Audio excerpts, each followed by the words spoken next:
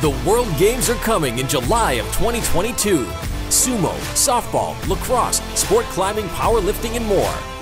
This is the new generation of sports. Tickets are on sale. Buy today at TWG2022.com. It's the Weather Xtreme video. This is the morning edition. This is for Thursday, the 26th of August. I'm James Spann. We got some classic summer weather through Sunday, but early next week, a tropical system will likely impact Alabama. We could very well have a hurricane in the Gulf of Mexico by the weekend. So, a lot to talk about. This is the upper air look, the core of the upper high, a little north and west of the state. And again, that's going to just set up a classic summertime day today, and most likely classic summer weather through Sunday with heat, humidity, sun, scattered storms about. Radar early this morning showing nothing, a little before 5 o'clock, but we'll see more scattered storms developing after the lunch hour today. Temperatures are mostly in the 70s this morning. Highs today, I'd say around 90 or low 90s in most locations, which is where we should be in late August. Heat advisories for areas west and northwest of the state today. Chance of severe storms, in fact, an enhanced risk today for parts of Minnesota and Iowa. Uh, other risks for parts of the high plains, the Midwest. Tomorrow, chance of severe storms up in the same region. And really the same thing on day three, which is Saturday as the weekend begins. Rain for the next seven days. The big numbers over the western Gulf Coast with our tropical feature. And understand this could easily change as we get better clarity on the future of the tropics, but you can see some really big numbers across Louisiana, Mississippi, into West Alabama. And it looks like Alabama will be on the wet east side of the circulation early next week. And again, just be aware that this could change as we get better clarity on the uh, what is now Invest 99L. Three systems on the board in the tropics. So we've got 99L in the Caribbean with a 90% chance of becoming a depression or storm within couple of days. And if that's the first one to get a name, it's going to be Ida.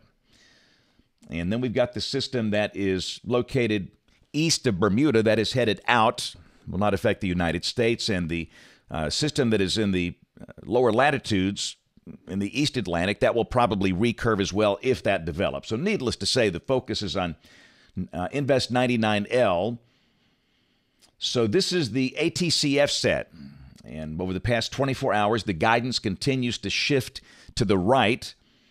And you can see this is suggesting landfall on the Louisiana coast, really by maybe late Sunday or Sunday night. This is the GFS ensemble. Most all the members are on the Louisiana coast as well. You got some outliers, uh, South Texas and Mobile Bay, but clearly the mean is through Louisiana and the Canadian, just for the fun of it, pretty much the same thing. And remember, this could change. No doubt this could change. The system hasn't even formed yet. Uh, but that's the way it looks now. This is the Hurricane WRF, a little farther to the west, showing uh, landfall around Sabine Pass, the Texas Louisiana border. Intensity guidance this could easily be a major hurricane. I mean, I'll just tell you that.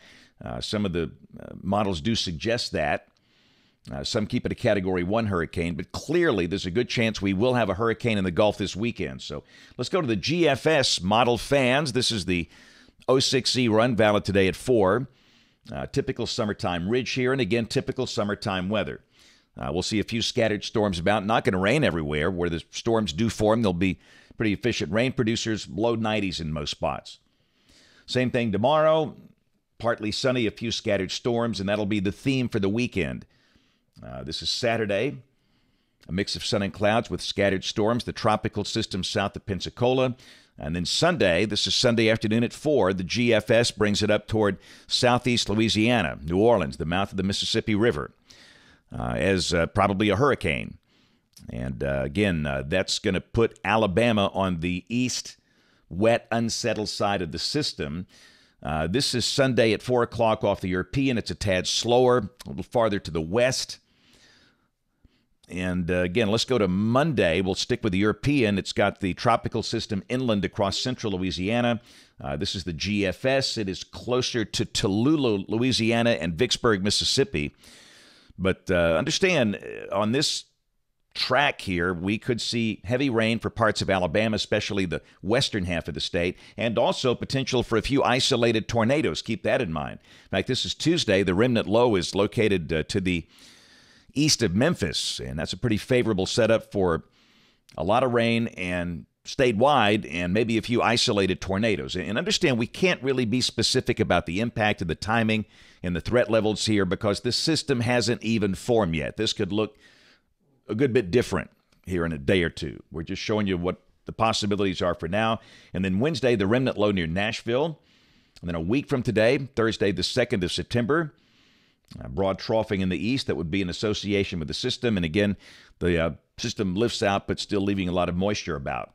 We'll go out 10 days. This is Saturday, September 4th. Got a 594 ridge kind of nosing in here, and that looks pretty quiet. And maybe another tropical system down there in the Gulf. But this is 10 days out, and we all know the GFS is famous in September for placing bogus tropical systems on the board. So, rain for Birmingham off the European ensemble. Talk about a big spread. You got members that go from little rain to over 10 inches. So, you look for the mean, and that's about two inches. And again, once we get better clarity on the tropical system, we'll have a better idea of how much rain to expect next week. We do think heat levels will come down, low 90s through Sunday, and then highs in the 80s for much of next week, maybe mid 80s on Tuesday and Wednesday with a lot of clouds and rain. And the CPC outlook this is for September 2nd through September the 8th. Temperatures here would be a little above average if this works out. That's it for the Weather Xtreme video this morning. We'll have notes on the blog. The next video here by 3 o'clock this afternoon. If you can, catch us this evening on ABC 3340 News at 4, 5, 6, and 10 o'clock. Thanks for watching. Have a great day, and God bless. Hey, this is James Spann. I think one of the best parts of my job, getting to do weather programs in schools. During regular times, I'm in a school once or twice a day teaching students, mostly in elementary schools, things about weather and science. It's a really great part of my job. In fact, if I wasn't a television meteorologist, I would be a third grade science teacher. But one thing I've noticed over the years some children, not all, but some, develop a genuine fear, a phobia of weather, especially thunderstorms and tornadoes. To offset that, I commissioned a couple of creative members of my family to write a series of children's books about weather. And the first one is out. Benny and Chipper, Be Prepared, Not Scared. Your kids will absolutely love Benny the Bear and his best pal, Chipper the Beagle Dog. It's a really good read about thunderstorms and tornadoes and how it's okay to be a little afraid, but you don't have to be really afraid. As long as you're prepared, you understand them, you know what to do, and you take care of yourself. Information is very powerful, and that starts a process of kids overcoming that fear. And this book is a really good read for any elementary school student. My friend Ginger Zee of ABC News in New York, the chief meteorologist there, wrote a foreword here. Jeremy Davis, an illustrator, really makes Benny and Chipper come to life. It's a great read, and your kids will love it. I would encourage you to get a copy, and we'll have future books with Benny and Chipper about things like thunderstorms and the science behind them, tornadoes, and hurricanes. So get your copy today. Right now, it's available online at Spannbook with two N's, spannbook.com. And you'll see some other cool stuff there as well. Benny and Chipper, prepared, not scared. Get your kids a copy today.